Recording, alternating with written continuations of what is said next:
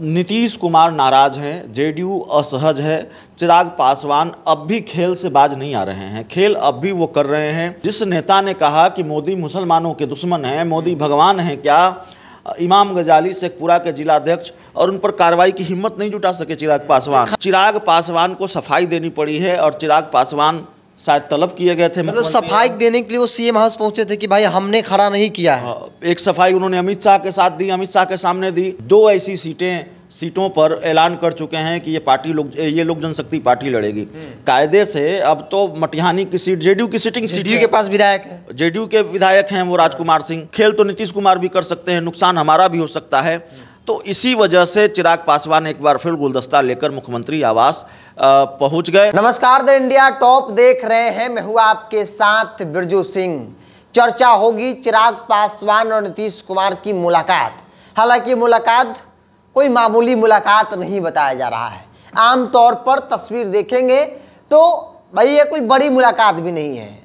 और इस तरह की मुलाकात एनडीए के अंदर जब सहयोगी है तो होना कोई बड़ी बात भी नहीं है। लेकिन पर्दे के पीछे की कहानी क्या है?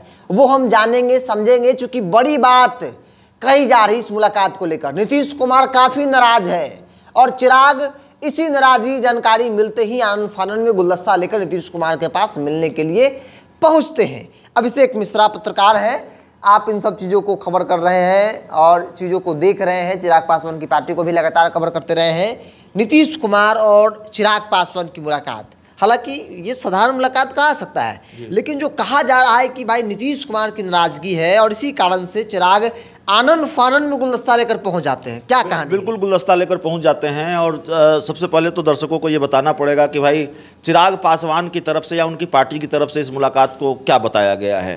तो उनकी पार्टी की तरफ़ से कहा गया कि भाई देखिए चिराग पासवान जिस विभाग के मंत्री हैं उस विभाग की जो योजनाएँ हैं उसको बिहार में ज़मीन पर उतारना है। मुख्यमंत्री नीतीश कुमार से इस पर चर्चा हुई है। और पश्चिम बंगाल में जो बिहारी छात्रों के साथ या बिहारी युवकों के साथ जो घटना हुई है उसको लेकर नीतीश कुमार से बात हुई है। नीतीश कुमार स्वयं गंभीर है। लेकिन राजनीति में तो जो दिखता है वो होता नहीं है। और ज़ाहिर तौर पर ये बात गले से उतरती नहीं है कि सिर्फ़ इसी के लिए चिराग पासवान मिलने गए होंगे। मिलने गए होंगे। बहुत सारी बातें कही जा रही हैं। बिरजू कहा जा रहा है कि बोर्ड और निगम में हिस्सेदारी चाहते हैं चिराग पासवान और भी बहुत सारी चर्चाएँ हैं लेकिन जो जानकारी निकल कर आ रही है पुख्ता तौर पर और जो जानकारी हमारे पास है आपके पास भी वही जानकारी है मैं जानता हूँ। नीतीश कुमार नाराज़ हैं जेडीयू असहज है चिराग पासवान अब भी खेल से बाज नहीं आ रहे हैं। खेल अब भी वो कर रहे हैं। 2020 के विधानसभा चुनाव में बड़ा खेल उन्होंने किया नीतीश कुमार के साथ। क्या किया सब जानते हैं? लेकिन छोटे छोटे खेल चिराग पासवान अब भी कर रहे हैं और एक खेल तो हो रहा है। तिरहुत स्नातक क्षेत्र का उपचुनाव हो रहा है विधान परिषद का और उसमें चिराग पासवान की पार्टी के प्रदेश उपाध्यक्ष जो राकेश रोशन हैं वो चुनाव लड़ रहे हैं और अभी वो चिराग पासवान की पार्टी में बने हुए हैं। दूसरी तरफ़ जेडीयू के उम्मीदवार हैं अभिषेक झा। तो एक गठबंधन से दो उम्मीदवार एक ही सीट पर तो हो नहीं सकता। मतलब फिर से चिराग नीतीश कुमार के खिलाफ खेला कर सकते हैं। खेला खेला कर रहे हैं कर नहीं सकते हैं। कर अगर नहीं खेला कर रहे हैं तो क्यों नहीं राकेश रोशन पर कार्रवाई कर होनी चाहिए। क्यों नहीं राकेश रोशन से खुद को अलग कर देते कह देते कि नहीं ये अ, हमारी पार्टी का हिस्सा नहीं है और पार्टी खुद को उनसे अलग करती है और राकेश रोशन जो कर रहे हैं वो गलत कर रहे हैं। अभी तक तो चिराग पासवान ने ऐसा कुछ भी नहीं कहा। आपने देखा कि खेला तो बीजेपी के साथ भी किया मोदी के साथ भी किया। जिस नेता ने कहा कि मोदी मुसलमानों के दुश्मन हैं मोदी भगवान हैं क्या? इमाम गजाली शेखपुरा के जिलाध्यक्ष और उन पर कार्रवाई की हिम्मत नहीं जुटा सके चिराग पासवान। खाना पूर्ति दिखा भाई आपने लिख दिया। हाँ, बिल्कुल आपने लिख भी दिया। हम आपके साथ नहीं हैं। का, इसका कारण बताओ नोटिस दीजिए। लेकिन आप भी जानते हैं कि लोजपा में जिनको कारण बताओ नोटिस मिला उन, उन उनकी पद से मुक्ति या पार्टी से मुक्ति तय होती है। इमाम गजाली अपवाद में हैं। इमाम गजाली ऐसे इकलौते हैं। जिनको कारण बताओ नोटिस देकर छोड़ दिया गया। एक अंदर ही अंदर कुछ तो बात है भाई संबंध है। संबंध है और ज़ाहिर तौर पर अगर ये बात समझ में नहीं आती। अगर चिराग पासवान की पार्टी का कोई जिलाध्यक्ष ये कहे कि मोदी मुसलमानों के दुश्मन हैं मोदी भगवान हैं क्या? और ऐसे तमाम तरीके के बयान दे भारतीय जनता पार्टी के मीडिया प्रभारी को नौसिखुआ बता दें उनके खिलाफ मोर्चा खोल दे तो क्या ये गले से उतरती है बात कि बिना चिराग पासवान की सहमति से बिना उनके संरक्षण या बिना उनके सह से ये हो सह के हो रहा है? तो ज़ाहिर है ऐसा नहीं हो रहा है। और दूसरी तरफ़ अब इमाम गजाली की बात हमने कर ली। राकेश रोशन का मामला है जो मेरी जानकारी है कि अभिषेक झा ने भी पार्टी के शीर्ष नेतृत्व को अवगत कराया था। और हालाँकि अभिषेक झा से हमारी बात हुई फ़ोन पर ज़ाहिर है कोई अपने पत्ते नहीं खोलता या इस उन्होंने कहा कि नहीं ऐसी कोई बात नहीं है वो इंटरनल मामला है उनकी पार्टी का। अगर कोई चुनाव लड़ रहा है तो निर्दलीय चुनाव लड़ेगा। ऐसी बात हुई अभिषेक झा से हमारी। लेकिन जो खबर है कि उन्होंने अवगत कराया है पार्टी के शीर्ष नेतृत्व को और देवेश चंद्र ठाकुर नीतीश कुमार के कितने करीबी हैं और कितनी भूमिका है उनकी इस उपचुनाव में। लगातार अभिषेक झा अभिषेक झा के साथ वो एक तरह से लोग कैंपेन में लगे हुए हैं। तो ज़ाहिर है उनके संज्ञान में भी बात है मुख्यमंत्री नीतीश कुमार तक भी बात पहुँची है।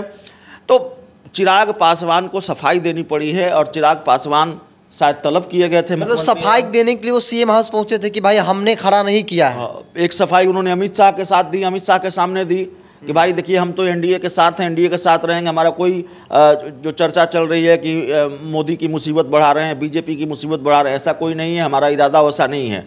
तो अमित शाह के बाद सफ़ाई दी उसके बाद अब नीतीश कुमार के सामने उनको सफ़ाई देनी पड़ी है। और एक नाराज़गी और है आप जानते हैं कि चिराग पासवान दो ऐसी सीटें सीटों पर ऐलान कर चुके हैं कि ये पार्टी लोग ये लोक जनशक्ति पार्टी लड़ेगी। कायदे से अब तो मटिहानी की सीट जेडीयू की सीटिंग सीट के पास विधायक है। जेडीयू के विधायक हैं वो राजकुमार सिंह। और शेखपुरा जेडीयू लड़ी थी 2020 के विधानसभा चुनाव में। हाँ। अब ज़ाहिर है इमाम गजाली भी लड़े थे लेकिन अब तो आप एनडीए में हैं हाँ। तो आप कैसे ऐलान कर सकते हैं कि इमाम गजाली लड़ेंगे? बड़ा भाई को मानना पड़ेगा अभी तो बीजेपी जेडीयू भी नहीं कर रही है कि हम ये सीट लड़ेंगे। तो ज़ाहिर है इसको लेकर भी बीजेपी और जेडीयू के अंदर नाराज़गी है। तो अब चिराग पासवान डैमेज कंट्रोल में जुटे हैं, नीतीश कुमार को मनाने में जुटे हैं और चिराग पासवान ये समझ रहे हों शायद कि खेल ज़्यादा बढ़ा या नीतीश कुमार की नाराज़गी ज़्यादा बढ़ी तो खेल तो नीतीश कुमार भी कर सकते हैं, नुकसान हमारा भी हो सकता है। तो इसी वजह से चिराग पासवान एक बार फिर गुलदस्ता लेकर मुख्यमंत्री आवास पहुँच गए। और एक थोड़ा क्रेडिट लेने की भी कोशिश अब उधर लालू यादव ने ममता बनर्जी को फ़ोन कर दिया। कि भाई देखिए खबरें चलने लगी कि लालू ने फ़ोन किया उसके बाद गिरफ्तारी हो गई। तो क्रेडिट लेने की कोशिश भी कि भाई देखिए हम बहुत गंभीर हैं बिहारी छात्रों पर कार्रवाई हो मुख्यमंत्री से जाकर मिले हैं उनसे चर्चा की है हम लगातार वो मांग कर ही रहे थे। तो यह भी दिखाने की कोशिश है। तो ये सारी चीज़ें हैं पर्दे के पीछे मुलाकात की जो वजह है, वो शायद यही है। जब पर्दे के पीछे चिराग पासवान नीतीश कुमार की मुलाकात की पूरी कहानी, क्या है? अभिषेक मिश्रा, जो पत्रकार हैं, उन्होंने बताया चूँकि, ये करीब से इन सब चीज़ों को देख रहे हैं। और क्या है ना कि मुलाकात होती है और जो नेता होते हैं, वो आपस में गुप्तगु में कुछ ऐसा बात ज़रूर कह देते हैं जिससे पत्रकारों को जो है, वो एहसास हो जाता है कि आखिर मुलाकात का पूरा कहानी क्या था और क्यों मुलाकात हुई थी? चूँकि चिराग पासवान नीतीश कुमार के साथ खेला कर चुके 2020 में और वो एक बार फिर से दोहराना चाहते हैं। तिरुर स्नातक से चुनाव होने वाला है और ऐसे में अभिषेक झा जेडीयू के उम्मीदवार चूँकि जेडीयू की सीटिंग है, देवेश चंद ठाकुर वहाँ से एमएलसी थे, वो लोकसभा के सदस्य बन गए तो ऐसे में वो सीट खाली हुई है। लेकिन उसी सीट से राकेश रोशन, प्रदेश उपाध्यक्ष लोजपा रामविलास के हैं वो न सिर्फ़ दावेदारी किए हैं, बल्कि वो मैदान में कूद गए हैं और वो पार्टी के बैनर तले सब कुछ कर रहे हैं। और इस बात की शिकायत नीतीश कुमार तक पहुँची थी। नीतीश कुमार काफ़ी नाराज़ थे चिराग पासवान से और इसी नाराज़गी के कारण चिराग जो है वो पटना पहुँचते हैं और आनंद फानंद में गुलदस्ता लेकर नीतीश कुमार की नाराज़गी को ख़त्म करने के लिए पहुँचते हैं और सफ़ाई देते हैं कि जो उम्मीदवार हो, मेरा उम्मीदवार नहीं है। अब सवाल है कि क्या चिराग पासवान कार्रवाई करेंगे? चूँकि नीतीश कुमार को तो उन्होंने कह दिया है। जो जानकारी है कि नीतीश कुमार को उन्होंने कहा है कि राकेश रोशन मेरा उम्मीदवार नहीं है, उससे मेरा कोई लेना देना नहीं है। अब देखने वाली बात होगी कि चिराग क्या राकेश रोशन पर कार्रवाई करते हैं या फिर पर्दे के पीछे एक बार फिर से खेला करने की कहानी गढ़ रहे हैं। आपकी क्या राय है? आप अपनी राय को कमेंट्स बॉक्स में रखिए। अगर आप मेरे चैनल को यूट्यूब पर देख रहे हैं तो सब्सक्राइब कर लीजिए। फेसबुक पर देख रहे हैं तो पेज को लाइक और फॉलो कर लीजिए।